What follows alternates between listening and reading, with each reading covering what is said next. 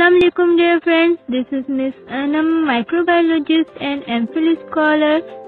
जी तो फ्रेंड्स मुझे कमेंट्स आ रहे थे कि जी सी यू एच जिस पे मैंने एक बार वीडियो बनाई थी तो मेरी फ्रेंड्स भी पूछ रही थी तो वो चाह रहे थे सब के मैं आपको बताऊँ कि क्या इसका प्रोसीजर है एडमिशन का और एडमिशन का क्राइटेरिया क्या है पास पेपर्स वगैरह तो यहाँ पे एक बहुत ही कॉमन सी चीज़ होती है, जिसे प्रोस्पेक्टस कहते हैं, जो कि हर यूनिवर्सिटी का जो है वो डेवलप होता है। और प्रोस्पेक्टस आपको यूनिवर्सिटी की वेबसाइट पे भी मिल जाएगा, आप गूगल पे भी सर्च करेंगे तो वहाँ पर भी आपको मिल जाएगा उस यूनिवर्सिटी के नेम के साथ। तो यहाँ पर जीसीयूएच के मुझे सवाल आ रहे थे, काफ़ी काफ़ी स्टूडेंट्स ने मुझे पूछा कि आप हमें गाइड करें कि क्या इसका क्राइटेरिया है। तो यहाँ पर मैं इसका प्रोस्पेक्टस का आपको डिस्क्रिप्शन में लिंक भी दे दूँगी जीसीयूएच का। और मैं आपको थोड़ा दिखा भी देती हूँ कि क्या क्राइटेरिया है इनका। हम ओपन कर लेते हैं हमारी प्रोस्पेक्टस जीसीयूएच की। तो यहाँ पर मैंने पहले से ओपन करके रखी है। लिंक इसका मैं डिस्क्रिप्शन बॉक्स में दे दूँगी। तो यहाँ पर मैं ओपन कर लेती हूँ हमारी प्रोस्पेक्टस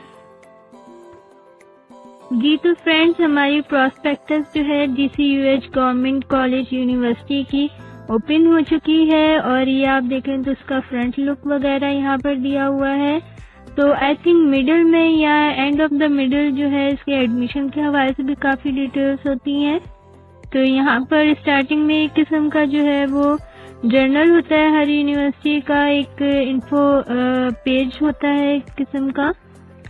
तो यहाँ पर आपको बहुत सारी डिटेल्स मिल जाएँगी। इसमें आपको फ़ीस स्ट्रक्चर के हवाले से और जैसे कि यहाँ पर है फ़ीस स्ट्रक्चर के हवाले से बताया हुआ है कि इसका फ़ीस स्ट्रक्चर वगैरह क्या है एडमिशन फ़ीस क्या है देन इसके अलावा और भी काफ़ी सारी डिटेल्स वगैरह इसमें होंगी और इसकी हॉलीडेज वगैरह के हवाले से एडमिशन स्केजुअल है यहाँ पर दिया हुआ।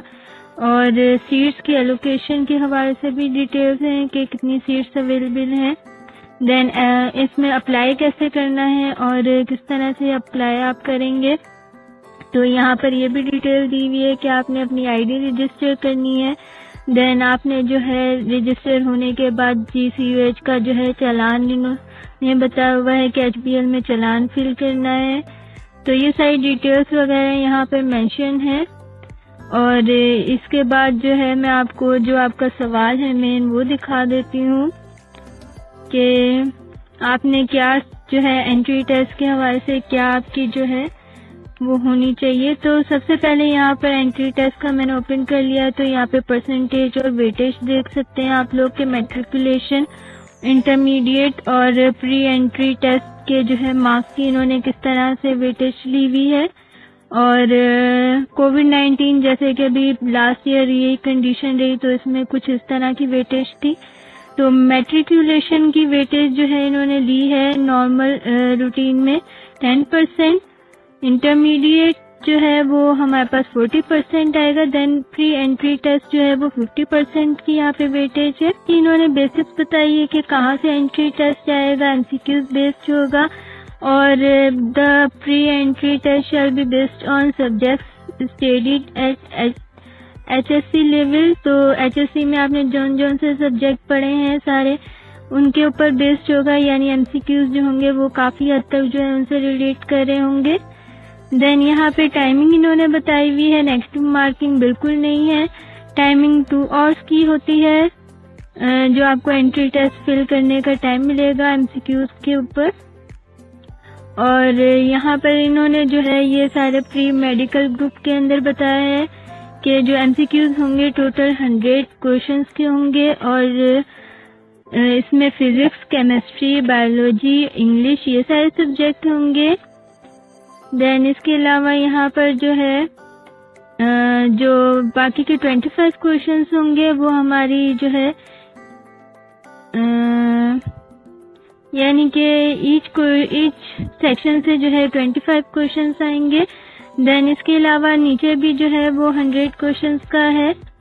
तो उसमें भी फिजिक्स केमिस्ट्री मैथ और इंग्लिश ये सारे सब्जेक्ट के आएँगे question then general science group के अंदर भी जो है फिजिक्स कंप्यूटर साइंस मैथ्स और इंग्लिश तो ये सारे जो है यहाँ पर इन्होंने बताई है कि क्या वेटेज होगी। देन आर्ट्स ग्रुप का भी इन्होंने बताया, यानी कि बेसिकली क्या है कि आपके जो होंगे एंट्री टेस्ट वो उसमें आपको दो घंटे का टाइम दिया जाएगा। उसके अंदर सब्जेक्ट्स जो है, वो आपकी चॉइस के मुताबिक होंगे। जैसे अगर आप प्री मेडिकल ग्रुप से हैं तो उसके हिसाब से आपको सब्जेक्ट्स दिए जाएँगे। देन 25 क्वेश्चन बेस्ड जो है, वो ईच ग्रुप यानी कि ईच सेक्शन के 25 क्वेश्चन लिखे हुए लेकिन आगे हम और पढ़ लेते हैं कि क्या क्वेश्चन की अरेंजमेंट होगी। देन यहाँ पे कुछ रूल्स वगैरह मेंशन किए हुए हैं कि क्या जो है वो रूल्स होंगे आगे आप सेमेस्टर में जब पढ़ेंगे, यानी जब आपका एडमिशन हो जाएगा, उसके बाद आपकी जो है वो किस तरह से सी जी पी ए बनेगी, क्या उसके अंदर ग्रेडिंग का पॉलिसी है, यानी कि ये बात की कुछ बातें लिखी हुई हैं।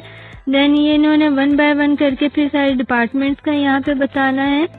तो अभी मैं आपको ये सारा स्किप करके तो मैं आपको ले जाती हूँ इसके एंट्री टेस्ट के मॉडल पेपर की तरफ़। तो एक यहाँ पर मॉडल पेपर भी इन्होंने दिया हुआ होता है। एक मिनट में ज़रा देखो आई थिंक लास्ट में इन्होंने दिया हुआ होता है मॉडल पेपर तो ये सारे इनके डिपार्टमेंट्स इन्होंने अच्छे से यहाँ पे बताया हुआ है। आप लोग ज़रूर इसको एक बार डाउनलोड करके देख लीजिएगा। तो इसका मॉडल पेपर ये कुछ इस तरह का इसका मॉडल पेपर होता है।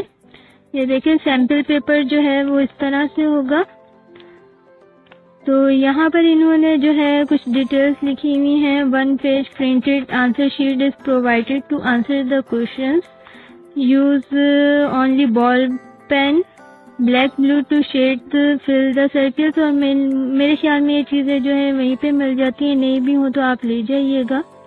Answer sheet contain five circle containing five options of answer यानी कि फाइव ऑप्शन होंगे आपके पास फाइव सर्कल्स होंगे A B C D E करके, और ये सारे जो है वो नंबरिंग के हिसाब से इनसे रिलेट कर रहे होंगे।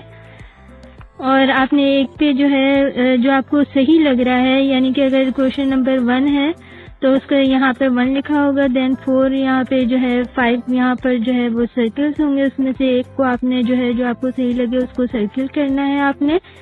और यहाँ पर जो है सारी डिटेल्स इन्होंने लिखी हुई हैं तो इसी हिसाब से आपने इसको फिल करना है। देन मॉडल पेपर आप देखें तो किस तरह के सवाल इसमें इन्होंने दिए हुए हैं।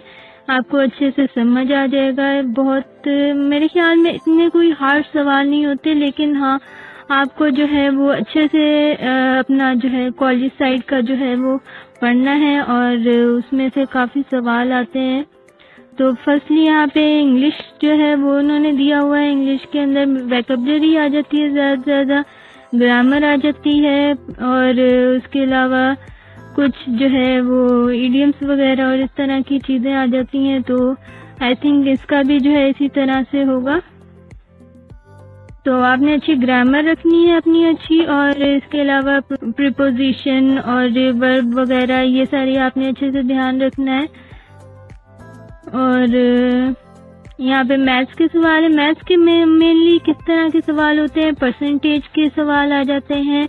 आपको जो है परसेंटेज के सवाल अच्छे से ध्यान ध्यान में याद रखने हैं। बाकी आपको जो है बहुत सारी बुक्स मिल जाएँगी एंट्री टेस्ट के हवाले से जिसके अंदर बहुत अच्छे से मैथमेटिक्स और दूसरे सेक्शन के सवाल जो है उसमें मौजूद होते हैं। देन यहाँ पर पाकिस्तान स्टडीज़ के इन्होंने सवाल दिए हुए हैं। तो पाकिस्तान स्टडीज़ के सवाल में जो है वो बहुत ज़्यादा जो है जैसे तारीखें हो गई हमारी पाकिस्तान के हवाले से।